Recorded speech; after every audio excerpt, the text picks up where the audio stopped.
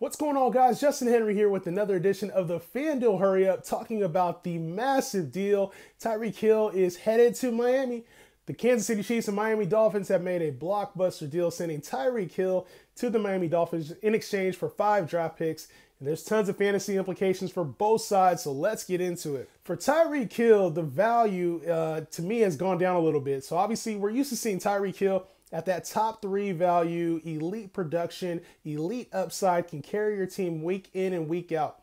I do think he carries the same upside on a week to week basis, but with Tua Tagovailoa throwing instead of Pat Mahomes, we've come to expect, you know, a lot of those 60 yard, 70 yard bombs. There's going to be a slight decrease in that. So with Tua as his quarterback, let's put Tyreek Hill in that mid tier uh, wide receiver one conversation. So probably around that five to eight range. I feel very comfortable with that and he doesn't carry the same upside that he once did. Obviously, there's a lot of weapons there now in Miami. Uh, new coach and a different quarterback.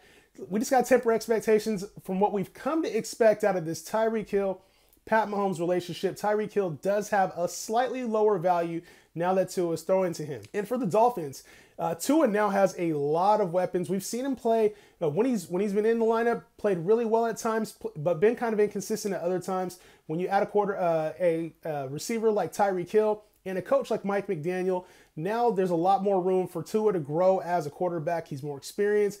I expect Tua to be in the back end QB1 conversation with a lot of upside for more. Don't be surprised if he ends up being a top five, six quarterback by season's end, but for now, we'll put him at the back end QB1 uh, because when you're talking about the weapons like Jalen Waddle, Tyreek Hill, Chase Edmonds, Raheem Mostert, Mike Gesicki, DeVante Parker, there's a lot of room to work with the new offense and somebody that just got the most out of Deebo Samuel, Brandon Aiyuk, uh, in that run game there with the Niners. I expect this offense to be loaded uh, for Tua. Jalen Waddle's going to take a slight dip down. Uh, I was expecting him to come into that wide receiver one conversation after his amazing season last year, uh, but you have to scale that back now and put him in that mid tier wide receiver two range. Uh, with Tyreek Hill being in that you know mid-tier wide receiver one range, so it's very tough for offense to carry two wide receiver one values. So you'd have to scale that back. And obviously, the other side of that is Pat Mahomes. So when we're talking about Pat Mahomes and these Kansas City Chiefs options, uh, Mahomes is also going to take a slight dip based on the, the breakup of this relationship. Uh, Mahomes is not going to have the same hero chucks that he had, 60 yards down uh, downfield. And a lot of teams were scheming against that last year as well. We saw a slight dip in Mahomes' fantasy production. He'll still be a top top three to five option but he just won't carry the upside that you once drafted him uh, as to have that QB1 type of feel, that, that elite, best quarterback in fantasy type feel. I think we see a little bit of a scale back in that production. Uh, with Juju Smith Schuster even added on, it, you know, his production should skyrocket from where it was being in the Steel, being with the Steelers organization, kind of being one of uh, you know uh, inconsistent wide receiver two, wide receiver three range. I think we see Juju Smith-Schuster as a high end wide receiver two for this next upcoming season, and Travis Kelce should be peppered with targets.